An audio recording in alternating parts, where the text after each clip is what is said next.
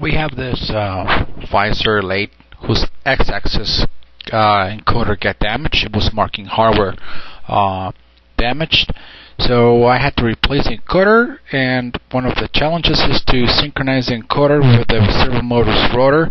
So first thing you got to do is you got to unplug the power lines, the U, V, and W lines and plug in a resistor um, array in Y. You make a Y using resistors and you plug into the U, V, and W lines and then you grab, uh, here I'm grabbing the U and the V phases and I'm driving the servo motor with my cordless drill, kind of a generator, synchronous uh, generator.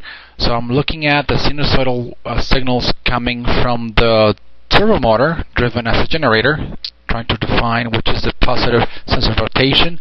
And once I define that, I'm going to enable the DAC1 output from the drive as a rotor mechanical position uh, in degrees, and I'm going to use that trying to align the shaft of the motor with the shaft of the encoder. This is the uh, uh, tweaking part.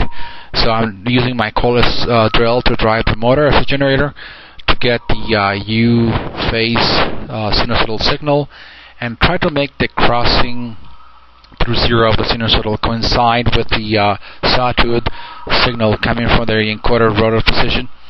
And you use the I'm using a Picos scope uh, UZ scope uh, to uh, I'm using a threshold signal for the zero line crossing.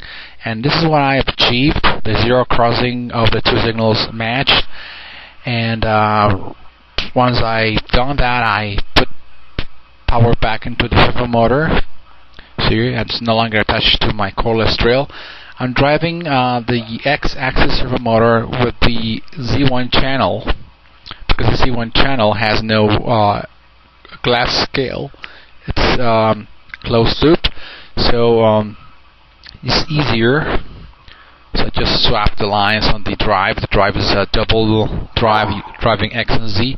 So I'm using Z1 control loop to drive the the uh, X1 encoder.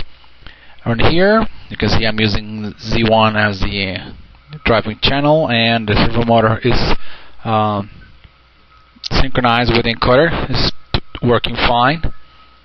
Um, the next stage is the mount it back in its own channel uh, on the X channel and I'm gonna do a servo tuning here under startup servo and then you go into star uh, servo tuning and then it's gonna do a me mechanical measuring part one then a mechanical measuring part two then the current measuring and every time you press NC start and once it's done you complete the boot file and then you save it to this NC controller